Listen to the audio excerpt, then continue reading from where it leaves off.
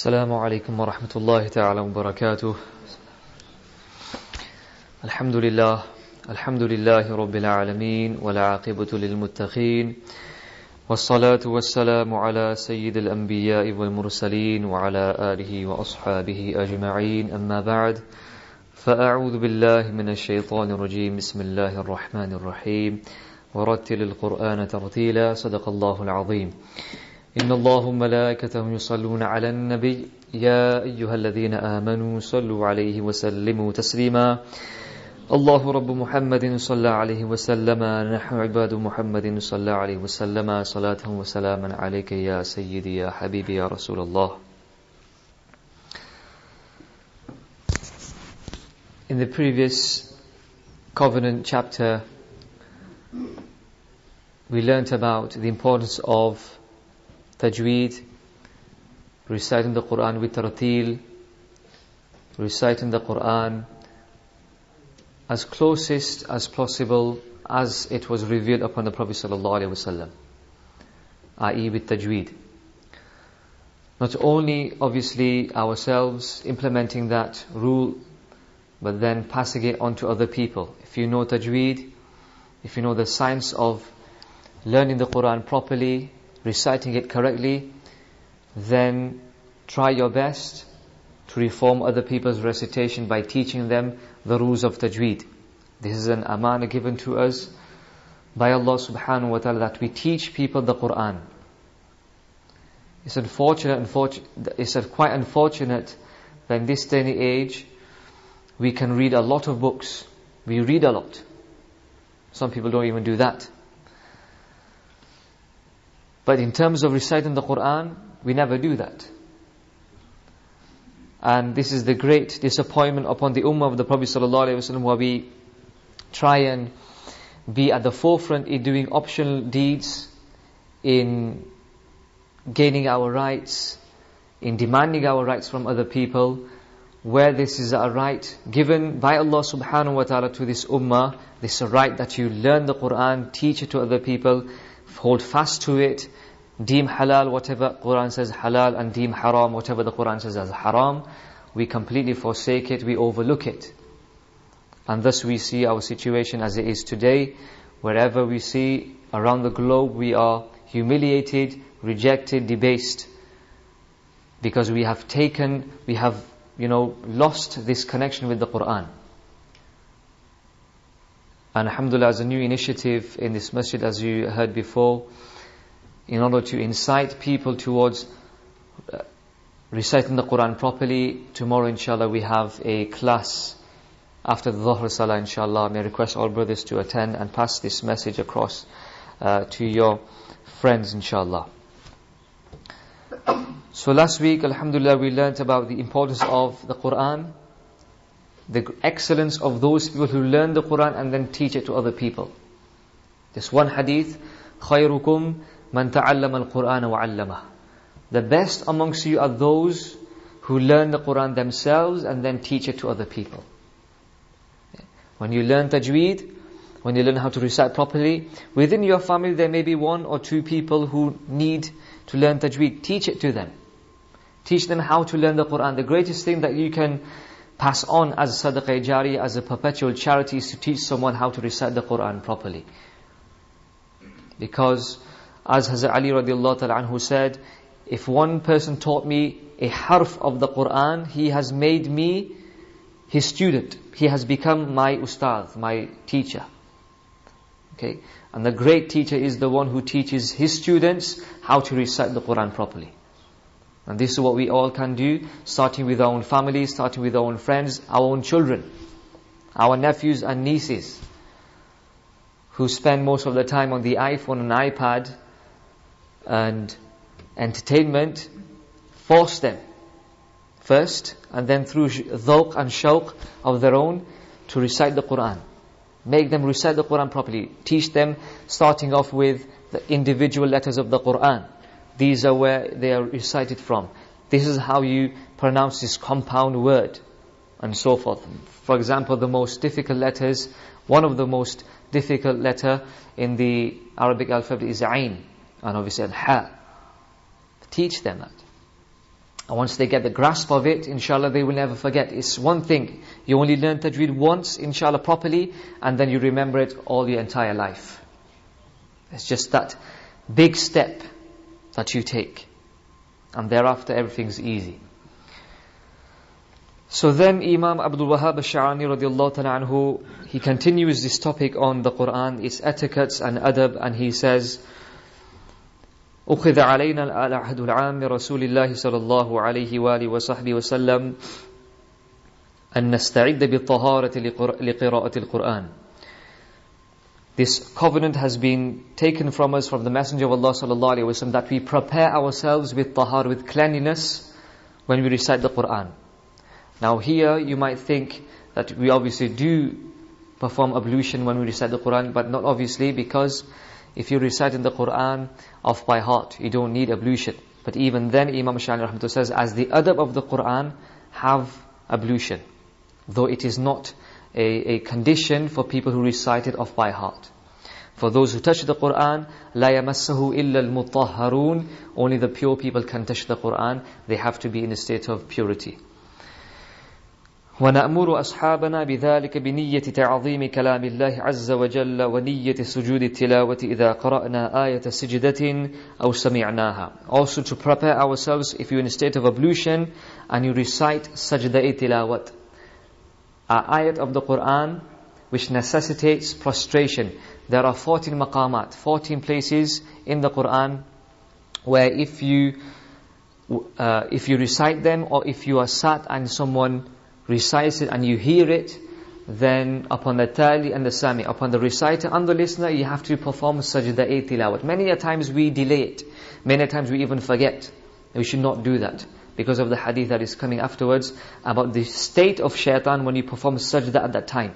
When Allah says, perform sajda, and then you immediately do it, see the state of shaitan as, as mentioned in the hadith of the Prophet he's humiliated. He gets infuriated. So don't delay. Do sajda today. Inshallah. Okay? Don't, don't delay it. Do sajda um, as quickly as you can. If you are in a situation where you cannot perform sajda at that time, it's not convenient, and so forth, then you recite this verse of the Quran. After the ayat of sajda, recite this verse of the Quran, سَمِعْنَا وَأَطَعْنَا غُفْرَانَكَ رَبَّنَا وَإِلَيْكَ الْمَصِيرُ سَمِعْنَا وَأَطَعْنَا O Allah, we have heard, وَأَطَعْنَا We have obeyed, غُفْرَانَكَ We seek your forgiveness, رَبَّنَا O our Lord, وَإِلَيْكَ الْمَصِيرُ Towards you is the return. If you recite this verse of the Quran, inshallah, you will not get the sin of deliberately delaying the sajda when you are commanded to do so in the Quran. ويتعين ذلك أدبا متأكدا متأكدا على التجار والمباشرين الذين يحضرون المساجد قبل الصلوات في مثل جامع الأزهر ونحوه. And this adab of being in a state of ablution before namaz and before preparing yourself for the Quran, being in a state of ablution. Okay? Always to be in a state of ablution. This is more mu'akkad and emphasized on those businessmen or those people who uh, just sit in the mosques. He says here like Jamil Azhar. Jamil Azhar, even if, even now it is the, in the city, in the entire city center. And you see a lot of people just sitting there with their bags of fruit and vegetable, just snoring away, sitting down, just relaxing and so forth. So he says, especially for them, they need to be prepared with wudu. And then he explains why. فَيَجْلِسُونَ مُحْدِثِينَ فِي لَغْوٍ وَغَفْلَةٍ بَلْ وَغِيبَةٍ Because of not being in a state of ablution, which does not make them prepared for the dhikr of Allah subhanahu wa ta'ala, they are sat in mosques like Jam al-Azhar or any other mosque, the house of Allah subhanahu wa ta'ala, muhdithin, talking about nonsense, lagh.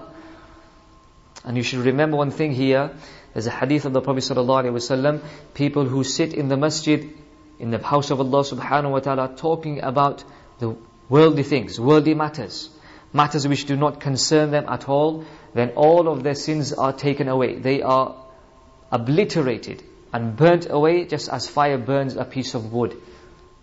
كما تأكل النار الحطب This is the hadith of the Prophet ﷺ. It takes us so much to actually do a good deed and it's so easy to waste it. And then he says here, rather they sit in heedlessness, they start talking with one another, they backbite one another. They sit together to go into the mosque for the niyyah of ibadah of Allah subhanahu wa ta'ala, but instead of that, they sit in the mosques and they start doing ghibah. There's a hadith of the Prophet ﷺ, the alam of qiyamah is that people will start shouting in the mosques. There will be people who will come to the mosques to talk about worldly matters. And the Prophet ﷺ said, when you see these people, don't sit with them. Allah is not bothered about them. Allah takes no consideration, Allah is not concerned about them. Because they are not concerned about the etiquettes of the house of Allah subhanahu wa ta'ala. We already learnt uh, in many covenants before uh, this chapter about the way the awliya used to enter the mosque in a state of fear and used to tremble and shiver. Shaykh Ali Khawas rahmatullah alayhi, he would never attend the mosque on his own. He would always have someone in front of him. Because he was scared that I'm going in the presence of Allah subhanahu I can't see, I can't show my face to Allah. Let him go before, before myself. In the hadra of Allah, in the, in the court of Allah subhanahu wa ta'ala. This is the court of Allah subhanahu wa ta'ala. This is the place of munajat. This is the place of dhikr of Allah. This is the place of you and Allah subhanahu wa ta'ala. Don't bring the third person in. Don't bring the dunya in. It is you and Allah subhanahu wa ta'ala only. وَرُبَّمَا يَمْكُثُونَ بِلَا طَهَارَةٍ حَتَّى تُقَامُ الصَّلَاةِ Many a times what happens is these people just come into the mosque and the Jamaat is about to happen and they have not performed ablution and then they go last minute.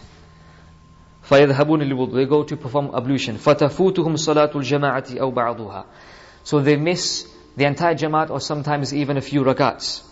فليتنبه الجالس في محل يتلى فيه القرآن ويصلي فيه الجماعة لمثل ذلك. So those people who sit in a place where there's a recitation of the Quran done, like the mosques, or where people pray with the Jamaat, they should always be vigilant about preparing themselves by performing ablution well in advance. So you don't miss even a rakat. There's awliya kiram who never miss the first takbir of each namaz. They never miss the Allahu Akbar behind the Imam.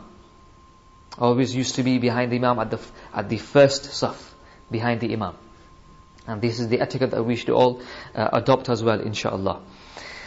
فإن عرف من نفسه عدم السلامة من اللغو في المسجد فضلا عن الغيبة فليجلس خارج المسجد ليفوز بالسلامة He says here, if you, if you are not sure, if you uh, fear that if you're going to come into the mosque and then you're going to stay for a, for a long period of time, you will indulge in ghibah, in namima, in, in slandering, in mockery, in lying, in deception, in joking, then leave immediately. He says here, فَلْيَجْلِسْ خَارِجِ masjid. Let him go out of the mosque, let him sit outside the mosque.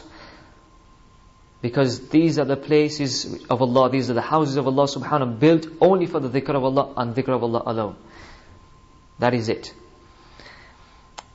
And then coming on to the excellence of performing the sajda, immediately the Prophet ﷺ said, as narrated by Imam Muslim, Imam Ibn Majah, Imam al-Bazzar, إذا قرأ ابن آدم السجدة فسجد اعتزل الشيطان يبكي يقول يا ويله وفي رواية يا ويلي أمر ابن آدم بالسجود فسجد فله الجنة وأمرت بالسجود فأبيت فلي النار When you perform sajda tilawat, immediately, inshallah.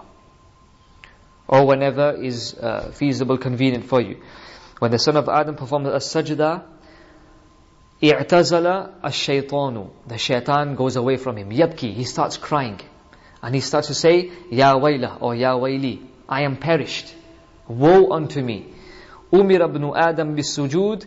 The son of Adam was commanded to perform sajda. Fasajda falahu jannah. He performs sajda and therefore he's, for him is jannah.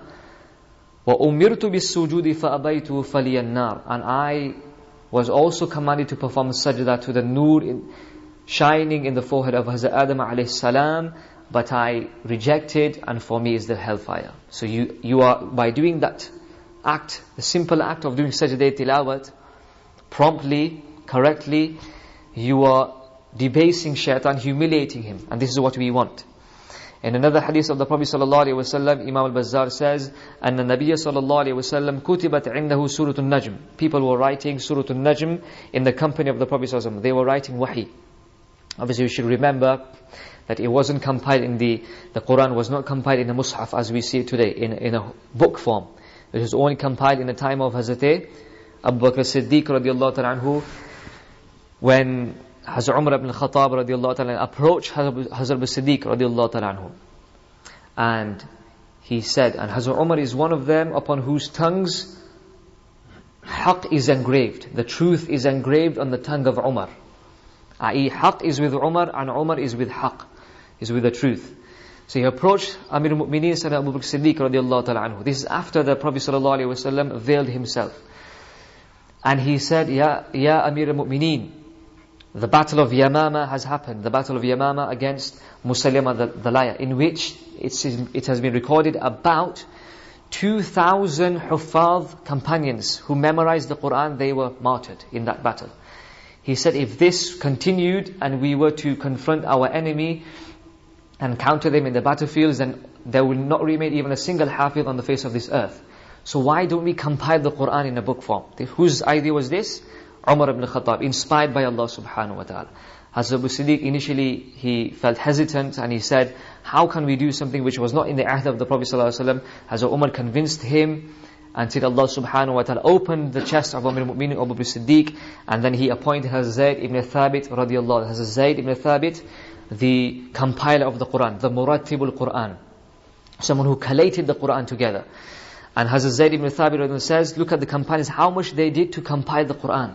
The Quran which we have forsaken. The Quran which we just leave on our shelves with dust to gather on top and open it in the khatm of the Quran. In, even in khatm of the Quran we see people, uh, the household are sat there just flicking through pages and or reciting probably even with a tasbih or just sat there uh, yawning or on their mobile phones whilst they want other people to recite the Quran. This is not the right of the Quran. The right of the Quran is you treat it properly.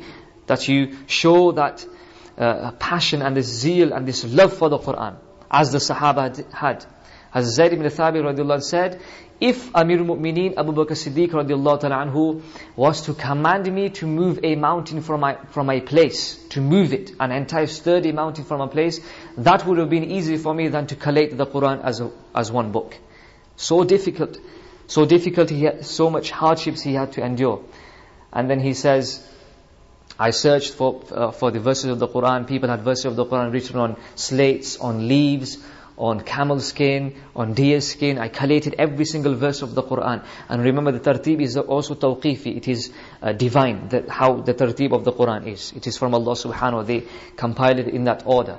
And the, until he says, I found one verse of the Quran, the final verse of the Quran, I think it was, واتقوا يوما ترجعون فيه إلى الله ثم توفى كل نفس ما كسبت وهم لا يظلمون and when every single verse which he got he had he he uh, had a condition that he would have two witnesses say for example you had a verse of the Quran I would need two witnesses to corroborate the fact that you have you've heard that verse from the Prophet ﷺ that this is a an ayat of the Quran with two witnesses. But there was only one Sahabi, the final Sahabi who went to to get the final verse